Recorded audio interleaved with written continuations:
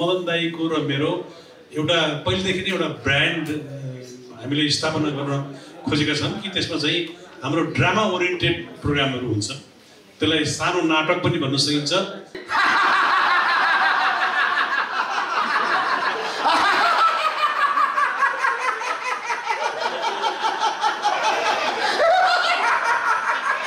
चौवालिस वर्ष पचास वर्षदेखि हाम्रो राजनीति भनेको हामी जुन सुधारको लागि आवाज उठाउँदै आएका थियौँ। त्यसमा केही पनि सुधार भएको छैन जस्तो लाग्छ मलाई। म म म सिटी ढोक्री हरिवंश एक्टिभ भइरहने छ। हरिवंशले काम गरिरहनु पर्छ मदन दाईले सकिनु भने मदन दाईको सती जाने कुरा हुँदैन। हामी एउटा नेपालमा जन्मिएको नेपाली छोरोले संसारको त्यत्रो ठुलो रङ्गमञ्चमा आफ्नो प्रस्तुत देखाउन पाउनु नै हामीलाई हाम्रो लागि एउटा गौरवको विषय थियो। स्टेजमा दर्शकबाट दर्शकको मुख हेर्नु मन लागिरहन्छ। दर्शक भगवान्को दर्शन गर्नु मन लागिरहन्छ। कुनै पनि पोलिटिकल पार्टीसँग घाँसे गाभे घाँसेको छैनौँ। र कहिले घाँसे पहिला पनि घाँसेनौँ अहिले पनि घाँसेको छैनौँ। सबैलाई बराबर नजरले हेरेको छौँ। सबैलाई आफ्नो सम्झन्छौँ। जात्रा भनेको चाहिँ हामीले धेरै वर्षदेखि गर्दै आएको एउटा प्रोग्रामको ब्रान्ड नेम हो। र विशेष परिस्थितिले कहिलेकाहीँ ग्याप भइन्छ। एक दुई वर्ष दुई चार वर्ष चाहिँ हामीले कार्यक्रम रेगुलर गर्न सकेका थिएनौँ। र यसपालि संजोग जुर्यो। त्यो संजोग चाहिँ हामीले अस्ट्रेलियाबाट सुरु गरेको र न्युजिल्यान्डमा पनि हामीले प्रोग्राम देखायौँ। र त्यहाँको मान्छेहरूले एकदमै धेरै उत्साहित भएर हामीलाई अ, स्याबासी पनि दिनुभयो हामीलाई साथ दिनुभयो। र त्यो प्रोग्रामलाई चाहिँ हामी आफ्नो जन्मभूमि आफ्नो मातृभूमि नेपालमा पनि पक्कै पनि देखाउनु पर्छ भनेर चाहिँ हामीले देखाउने जमर्को एउटा गरिरहेछौँ। र कार्यक्रमको भिन्नता चाहिँ खास भन्ने भने हाम्रो म मदन दाईको र मेरो एउटा पहिलेदेखि नै एउटा ब्रान्ड हामीले स्थापना गर्न खोजेका छौँ कि त्यसमा चाहिँ हाम्रो ड्रामा ओरिएन्टेड प्रोग्रामहरू हुन्छ। त्यसलाई सानो नाटक पनि भन्न सकिन्छ र ड्रामा ओरिएन्टेड प्रोग्रामहरू हो। र त्यसमा सबैभन्दा ठुलो चाहिँ हामीले इन्टरटेनलाई मनोरञ्जनलाई विशेष पहिलो स्थान हामी मनोरञ्जनलाई दिन्छौँ। किनभनेदेखि सन्देश मात्रै दिएर प्रोग्राम गऱ्यो भने त्यो मनोरञ्जन सुनाउँछ र मान्छेको हा मुखबाट मुहार बिन्दुबाट कसरी हाँसो फुत्काउने भन्ने चाहिँ हाम्रो सबैभन्दा पहिलो काम हो र त्यसपछि अब सन्देश भनिसकेपछि अब हामीले आजको चौवालिस वर्ष अगाडिदेखि सँगै मिलेर काम गर्दैछौँ चौवालिस वर्ष पैँतालिस वर्ष लागि लागिसक्यो र एउटा हामीले गरेको प्रोग्राममा हास्य व्यङ्ग्य र त्यसमा चाहिँ व्यङ्ग्यमा चाहिँ अलिकति राजनीति परिवेश त छिरिहाल्छ। किनभनेदेखि चौवालिस वर्ष पचास वर्षदेखि हाम्रो राजनीति भनेको हामी जुन सुधारको लागि आवाज उठाउँदै आएका थियौँ त्यसमा केही पनि सुधार भएको छैन जस्तो लाग्छ मलाई। त्यस कारणले राजनीतिक विकृतिहरूलाई पनि हामीले हास्य व्यङ्ग्यको माध्यमबाट प्रस्तुत गर्ने जमर्को गर्छौँ। र सबैभन्दा अर्को कुरा महत्त्वपूर्ण कुरा के भनेदेखि यो व्यङ्ग्य कसैलाई रिस उठ्ने गरेर हामी व्यङ्ग्य गर्दैनौँ। र कुनै मान्छेप्रति हामीले व्यङ्ग्य गरेका छौँ भने पनि त्यो मान्छे पनि हाँसेर हलबाट निस्केर जाउनु भन्ने हाम्रो प्रमुख उद्देश्य चाहिँ त्यो हुन्छ। तर त्यसमा चाहिँ फेरि हामीले व्यक्तिगत कसैको नाम पनि लिएर क्यारेक्टरलाई लिएर हामीले गरेका छैनौँ। र यो विशुद्ध ड्रामा ओरिएन्टेड प्रोग्राम हुन्छ। यसमा चाहिँ अब मदन दाई र मलाई यतिका दिग्गज हास्य व्यङ्ग्य गर्ने भाइ बहिनीहरूले साथ दिनुभएको छ। र जहाँसम्म लाग्छ कार्यक्रमलाई हामीले पैसा तिरेर आउने दर्शकहरूलाई पूर्णतया मनोरञ्जन कसरी प्रदान गर्ने भनेर हामी सोध्छौँ। पहिले देखाइसकेको हौँ विदेशमा देखाइसकेको हौँ। र अब फेरि नेपालमा देखाउनु पर्दाखेरि फेरि मान्छेको हाम्रो मनमा एउटा डर उत्पन्न भइरहेको छ कि यो प्रोग्राम कस्तो हुने हो?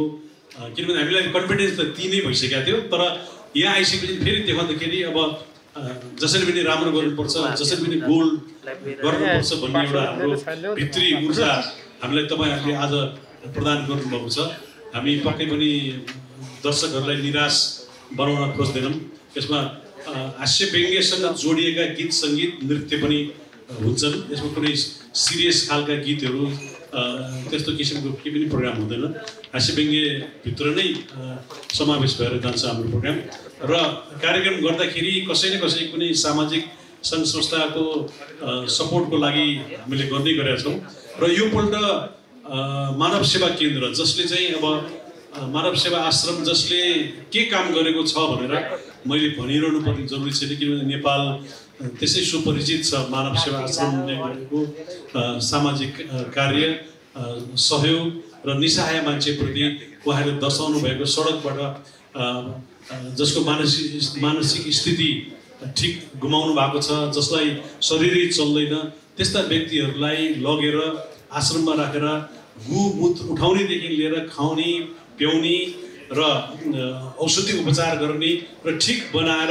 सकेसम्म आफ्नो परिवारलाई हस्तान्तरण गर्ने र परिवार भेटिएन भनेदेखि उहाँहरूले त्यही नै आश्रित दिएर राखी छोड्ने एउटा संस्था छ। त्यो संस्थाको चाहिँ एकदमै नेतृत्व गरिनु भएको छ। अघि किरण केसीले भनिसक्नुभयो जिन्दो बोल्ने देवता भनेर। जसले राम्रो काम गर्छ उसलाई देवता भन्नलाई केही पनि गाह्रो कुरा होइन। र उहाँ पनि उहाँहरूको संस्थाप्रति पनि हामीले केही सकम रकम जम्मा गरेर हस्तान्तरण गर्ने कोसिस गर्छौँ। र अर्को चाहिँ मिरा सेन्टर जो चाहिँ मिरा फाउन्डेसन जो मेरो श्रीमती दिगम्बत श्रीमतीको नामबाट एउटा फाउन्डेसन खोलेका छौँ। र काभ्रे जिल्लाको मेरो पुरपुरी ठाउँ ठाउँमा त्यहाँ मिरा सेन्टर स्थापना गरेर त्यहाँ चालिसजना बालबालिकाहरूले ससाना बालबालिकाहरूले पढिरहेका छन्। उनीहरूलाई केही सानो बेलादेखिको खेल्ने उमेरदेखिको केही सिकाएर स्कुलिङ गरिरहेछन्। त्यो संस्थाको लागि पनि केही न केही रकम दिने भन्ने कुरा भएको छ। म मेरो श्रीमतीको नाममा खोलेको संस्थालाई केही रकम दिने जुन निर्णय गर्नु त्यसको लागि चाहिँ म मदन राई अ, विशेष गरेर किरण केसी र आयोजक सुश्री मिडियाप्रति म फेरि पनि धन्यवाद आभार व्यक्त गर्न चाहन्छु। कार्यक्रम चाहिँ अब हामी हाम्रो प्रोग्राम यस्तो छ उस्तो छ हेरेर आउनै पर्छ गजब गर्छौँ भनेर भन्दैनौँ भन्न पनि हुँदैन। किनभने सधैँ डर हुन्छ। राम्रो गर्न सकौँ भन्ने एउटा कामना मात्रै गरेर आउने हो। अब राम्रो हुन्छ भन्ने चाहिँ अलिकति आत्मविश्वास छ। तर त्यसलाई स्याबासी दिने काम चाहिँ जनताहरूको हो। जसले हलमा टिकट किन्न आउनु भएको छ। र त्यो तपाईँहरू चाहिँ एउटा हाम्रो कार्यक्रमको एउटा संवाहक बनिदिनु भएको छ। यत्रो पत्रकार साथीहरू उहाँ तपाईँहरूले पनि हेरेर राम्रो छ भने राम्रो छ भनेर लेखिदिनु होला। राम्रो छैन भने यो यो त्रुटि छ भनेर भनिदिनु होला। हामी सकेसम्म राम्रो कार्यक्रम गर्ने कोसिस गर्छ। र हाम्रो महजात्राको कार्यक्रम चाहिँ धेरै वर्ष पछि भएको हो। केसीले दस वर्षपछि भने दस वर्ष भइसक्यो जस्तो भयो अझै भइसक्यो जस्तो छ। करिब करिब दस वर्षै भयो होला। भयो अब यसपालि प्रोग्राम गर्न लागेको मन उत्साहित भइरहेको छ मेरो पनि। तर मैले भन्ने पनि के भने स्वास्थ्य समय शरीर भनेको सधैँ एकनाश हुँदो रहेछ। सबैको एकनाश हुन्छ भन्ने छैन नहुनु पनि सक्छ। नहुन सक्नेमा म पनि परेको छु पार्किन्सनले गरेँ एकदम गाह्रो छ मलाई र यस्तो गाह्रो अवस्था हुँदा हुँदै पनि म अस्ट्रेलिया र न्युजिल्यान्डमा कार्यक्रम गरेर विलचेयरमा गएर कार्यक्रम गरेर आएँ। चुप लगाएर बस्नु मन लाग्दैन। स्टेजमा दर्शकबाट दर्शकको मुख हेर्नु मन लागिरहन्छ। दर्शक भगवान्को दर्शन गर्नु मन लागिरहन्छ। कार्यक्रम सकिन सके गरेँ।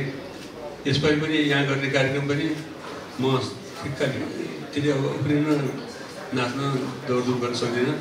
खालि मेरो प्रिजेन्स पक्कै हुन्छ। प्रिजेन्स मात्र हुन्छ। हामी हरिवंश र म म एक्लै काम गरे भए म तर्किसक्थेँ होला।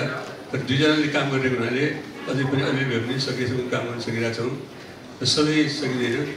र हामी अहिलेसम्म कुनै पनि पोलिटिकल पार्टीसँग घाँसेको गाभेको घाँसेको छैनौँ। र कहिले घाँसे पहिले पनि घाँसेनौँ अहिले पनि घाँसेको छैनौँ। सबैलाई बराबर नजरले हेरेको छौँ सबैलाई आफ्नो सम्झन्छौँ आफ्नै सबै आफ्नै लाग्छ। कोही पराई लाग्दैन। कोही कोही नजिक कोही पर लाग्छ। सबैले समान दृष्टिले समान सामिलभित्र कायम गरेर बस्दै बस्दै आएका छौँ।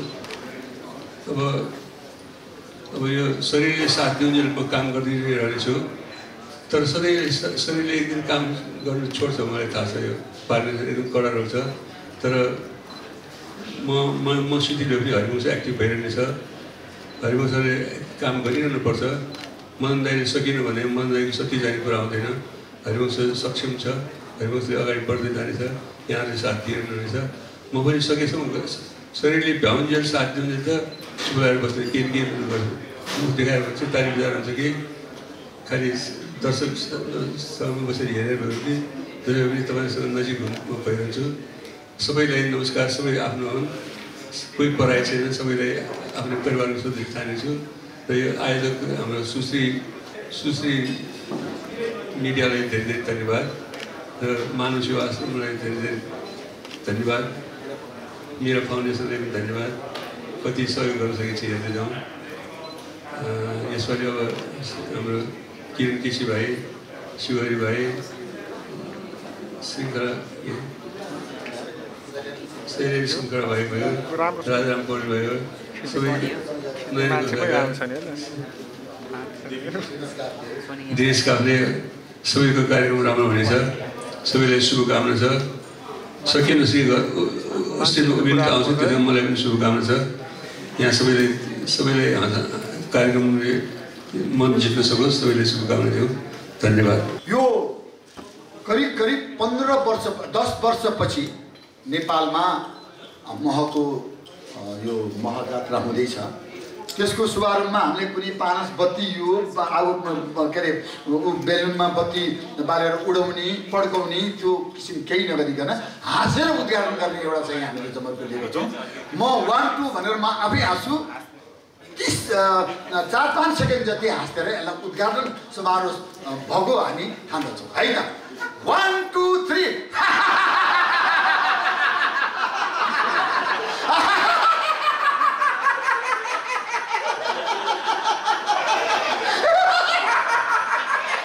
धन्यवाद।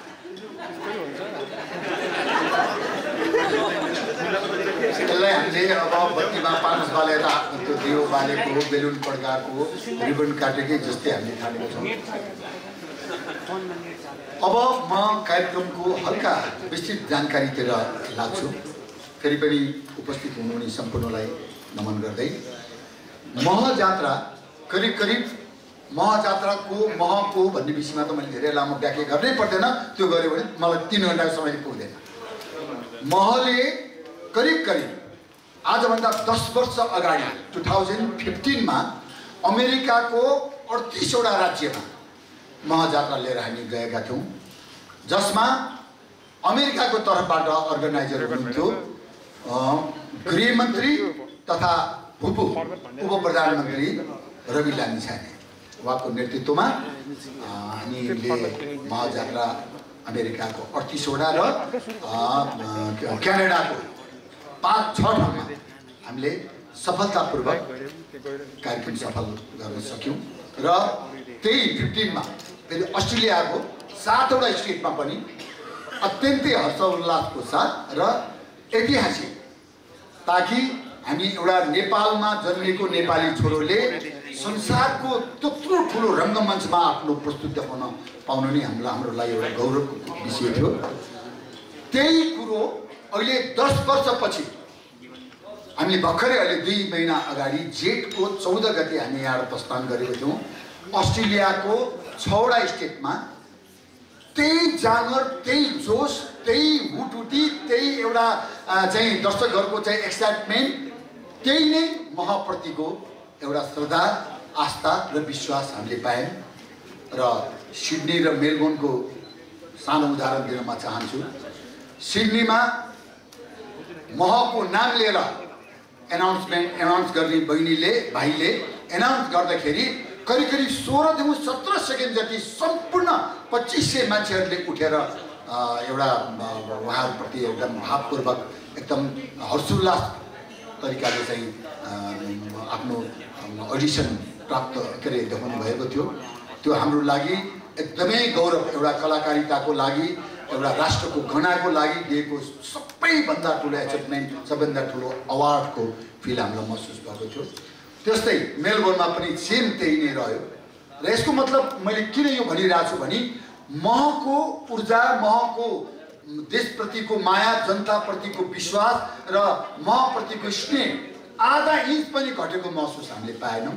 र त्यसैलाई मध्यनजर गरेर र काठमाडौँमा पनि हामी केही गरौँ त भन्ने कुरो कुरा चल्दाखेरि हामीसँग सुसुरी मिडियाको भाइहरूसँग हाम्रो सहकारी हुन पुग्यो। सुसुरी मिडियाले यस्ता धेरै ठुल्ठुला इभेन्टहरू गर्दै दर्शकहरूको र श्रोताहरूको मन जित्न सफल भएको छ।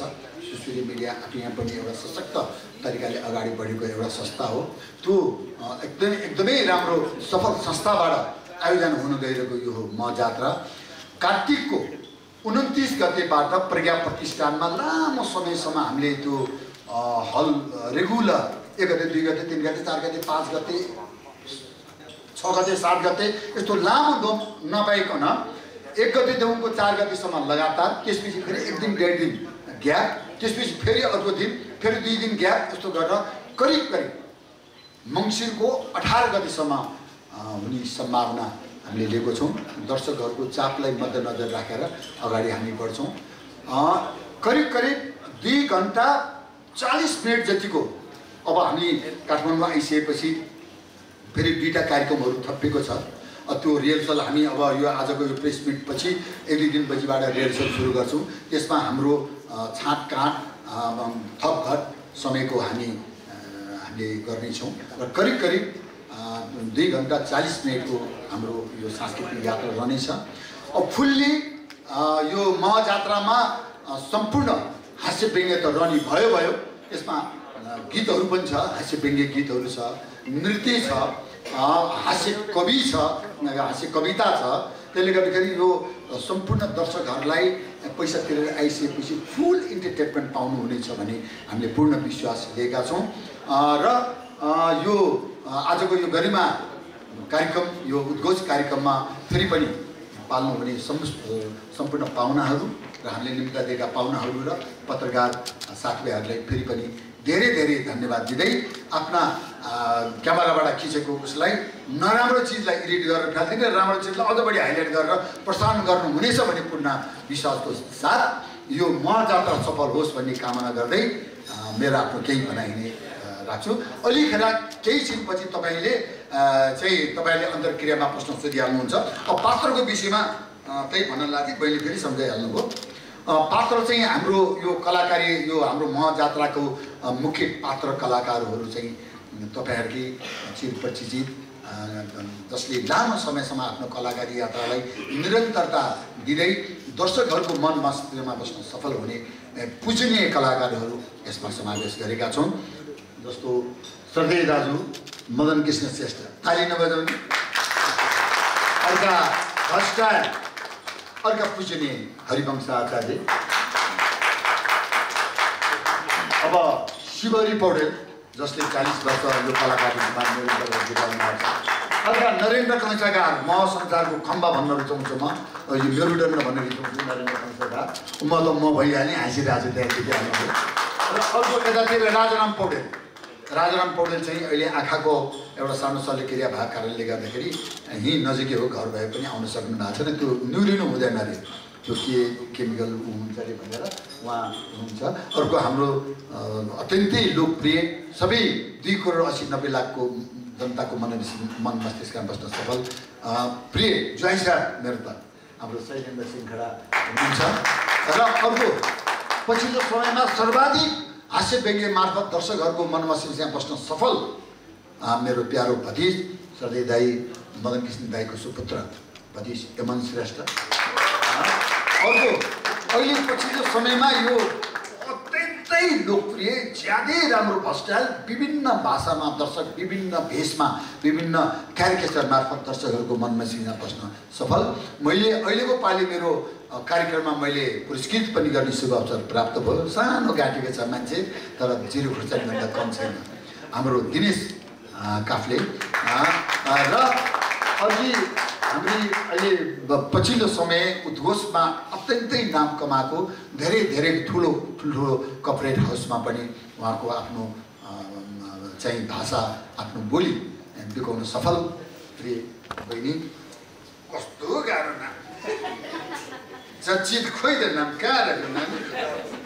यहाँ रहेको छ दिउँसा। भर्खर चिन्जान भएर कण्ठ भएको छैन। अब यो गाई यात्राभित्र कण्ठ होइन जिन्दैभरलाई कण्ठमुनि गरेर अगाडि बढ्नेछु। अब बिउसा बस्नेत अत्यन्तै स्वरको धनी हाम्रो टोटल कार्यक्रमको चाहिँ क्याप्टेनको रूपमा होस्ट गरेर उहाँले हामीलाई सम्बोधन गरेर स्टेजमा बोलाउनुहुन्छ। समग्र रूपबाट मलाई जहाँसम्म लाग्छ तपाईँहरूलाई पूर्ण विश्वास होला। यो यो स्क्रिनमा देखेको नेपालका वरिष्ठ हास्य व्यङ्ग्य कलाकारहरूबाट दर्शकहरूलाई भरपुर मनोरञ्जन प्राप्त हुनेछ भन्ने विश्वास मैले पनि ल्याएको छु र तपाईँहरू पनि लिनुहुनेछ भन्ने मैले आश गरेको छु। भन्दै मेरो केही भनाइ यिनै टुङ्गाउन चाहन्छु। धन्यवाद।